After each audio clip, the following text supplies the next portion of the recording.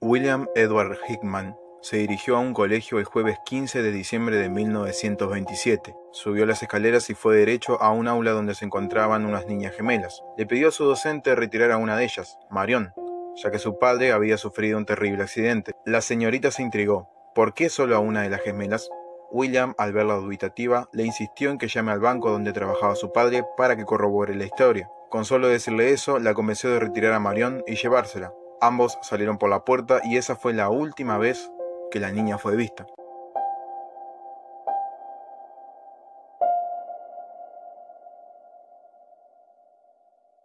Antes de continuar, te recomiendo que te suscribas a Dato Curioso para más videos así. Después de muchas horas, la familia de Marion se percató de su ausencia. Fueron con la policía y al poco tiempo ya empezaron las comunicaciones con el secuestrador y su padre, Perry Parker, que estaba acompañado todo el tiempo por su esposa y madre de la niña, Geraldine Parker.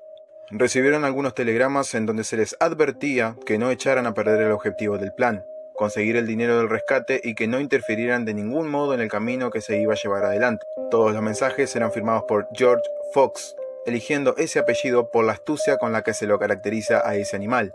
Siempre le aclaraban esto último a Perry, lo pedido eran 1.500 dólares en certificados de oro de 20, si querían volver a ver a Marion con vida, siempre aceptando todas las condiciones para que ella no sufra ningún daño.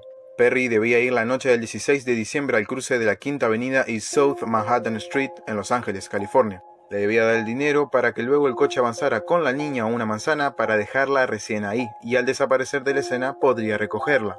Todo estaba listo, la policía estaba merodeando la zona y asegurándose de que todo salga bien, sea para atrapar a los responsables o no. El problema en este punto fue que William estaba vigilando y vio todo el movimiento policial en la zona, por ende Perry incumplió con lo acordado. No hace falta decir que el trato se rompió. Perry regresó a su hogar con el maletín. Recién al otro día recibió nueva información por parte del secuestrador. Lo morboso en esta es que fue escrita por la misma Marion, pidiéndole a su padre que por favor no llevase a nadie esta vez al intercambio porque ella quería volver a su casa. Era el segundo intento, la segunda oportunidad para hacer todo bien y recuperar a su hija sana y salva, pero de no cumplir nuevamente, el secuestrador le aseguraba que la iba a matar. A las 19.30 del 17 de diciembre, William llega con su coche acompañado por Marion.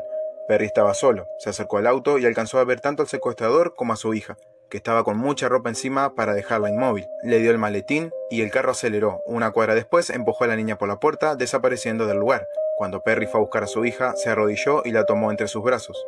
Un grito desgarrador por parte del padre se pudo oír en todo el lugar.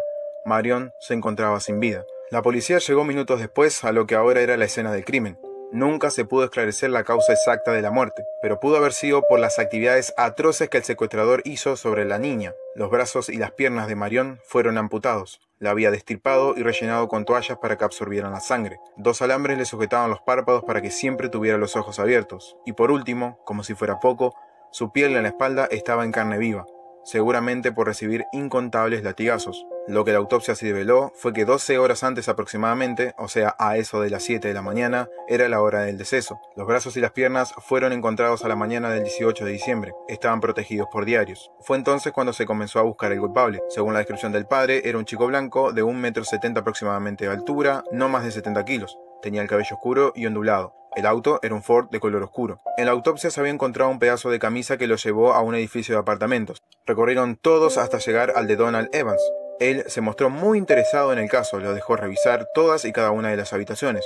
Estuvo todo el tiempo con ellos y les decía constantemente que quería encontrar al asesino tanto como la familia Parker. Al no averiguar nada, la policía se marchó del lugar. Cuando iban pasando por el estacionamiento, vieron un Ford Roadster oscuro estacionado en la entrada. Inmediatamente volvieron, pero Evans ya no estaba. Analizaron el auto, había sido robado semanas antes en Kansas City. Se le encontraron huellas de un tal William Edward Hickman, teniendo este antecedentes de robo y falsificación. Cuando vieron su foto en el archivo, se dieron cuenta de que Donald Evans era la misma persona, es decir, habían tenido al asesino todo el tiempo con ellos mientras buscaban los apartamentos y no se habían dado cuenta. Se lo encontró recién el 21 de diciembre de 1927 en Oregon. Durante el juicio, William dijo no haber actuado solo, que tenía un cómplice y que había sido ese cómplice el verdugo de Marion. Él solamente lo ayudó, dio nombre y apellido, pero el supuesto asesino estaba cumpliendo condena en la cárcel, ya hacía un tiempo. A finales de 1928, Hickman terminó confesando, pero amparándose en una, para ese entonces, nueva ley que permitía reconocer un crimen alegando locura. Es decir, fue uno de los primeros asesinos en reconocer no estar en sus plenas facultades mentales al cometer el crimen al no ser dueño de sus actos. Obviamente el jurado no le creyó, no solamente por sus mentiras anteriores, sino también porque la ley era demasiado nueva como para ponerla en práctica. Diez días después lo condenaron a la pena capital, la horca. El 19 de octubre de 1928, William Hickman fue ahorcado a sus 20 años de edad y sin mostrar ningún arrepentimiento de lo que hizo. El caso de Marion Parker sin dudas es de esos que te hielan la sangre. La brutalidad de lo que le hicieron es totalmente ajena a una mente sana y nos demuestra, como en muchos casos más, hasta dónde es capaz de llegar una persona en un impulso, ya que, para quien les habla, el secuestrador decidió hacerle todo eso cuando el padre de la víctima no cumplió con el trato que habían acordado en un primer momento. ¿Exagerado? Sí, pero impulsivo al fin.